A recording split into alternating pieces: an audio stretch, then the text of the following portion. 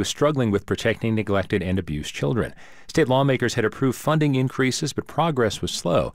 DCS says there's been a significant turnaround in dealing with backlog cases now. In March of 2015, there were more than 16,000. That number is down to 1,644. Now the agency is moving toward a new policy that would have caseworkers seek a court order before removing a child from a home, and legislators are considering similar bills. DCS Director Greg McKay is with me to talk about what could change. Does a move to get a court order to take a child out of a home potentially put that child in more danger because of the extra time involved? this will not affect that at all. One of the reasons that we wanted to approach this how we're approaching it very thoughtfully was because we did not want to trigger a change in Arizona's uh, kind of paradigm when it comes to should should more children come into the system of government protection or should we err on the side of, of family rights and keeping kids in our own home regardless of the scenarios we frankly don't care about that. I mean the, the facts uh, of every situation should dictate our level of involvement. So we don't want a pendulum swing here.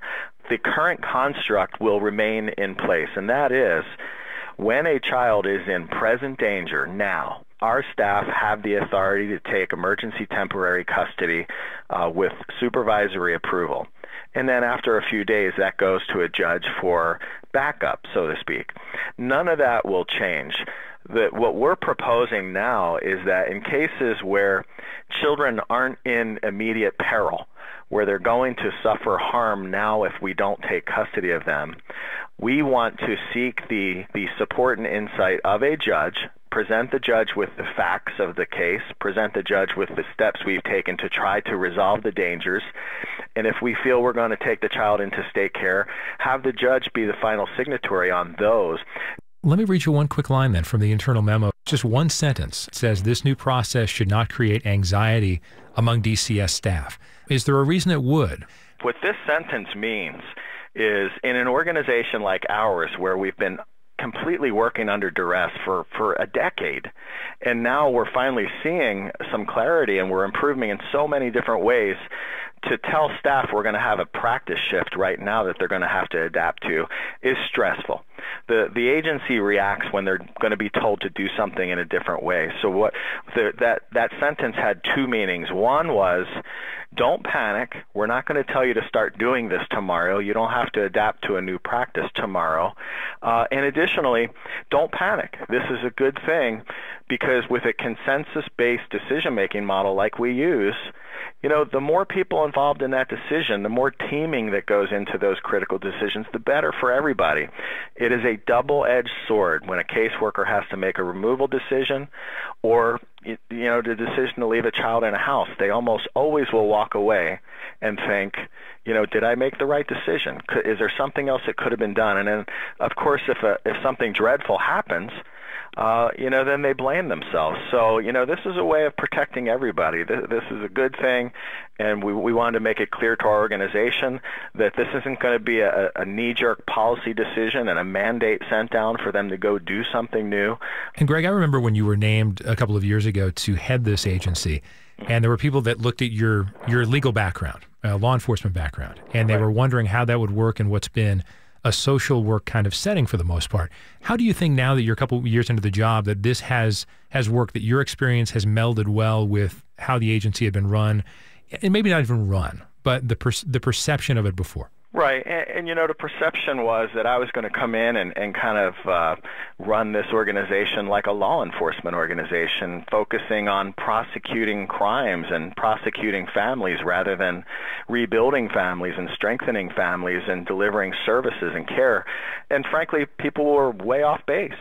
I've cultivated a, a different culture around here that, that you would probably find if you asked around one where staff feel safe in their decision making, where they're not going to be cast out uh, to the public or to the media or fired when something bad happens, one where we as an organization took responsibility for their inability to succeed every day.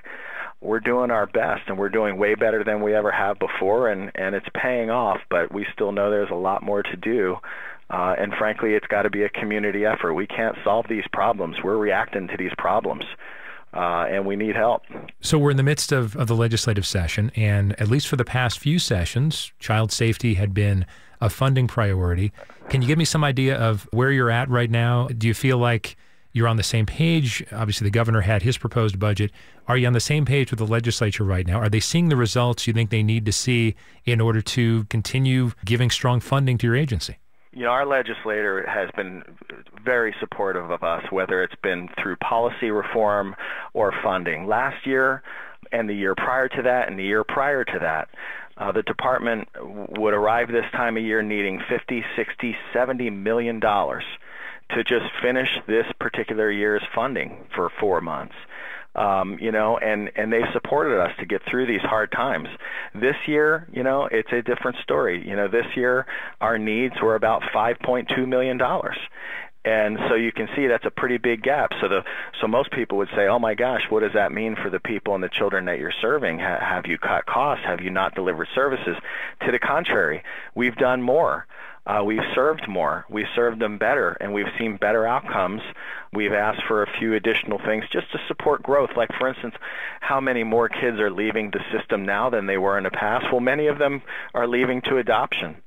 And, you know, the state and the federal government pays uh, an adoption subsidy to kids adopted to families until they're 18. So, you know, those costs grow uh, as that population grows. So, you know, we obviously needed a little increase there, and and also some of the work. You know, our governor wanting to support uh, relatives and grandparents and caring for for children uh, when they when they need to to be safely cared for uh, with our oversight.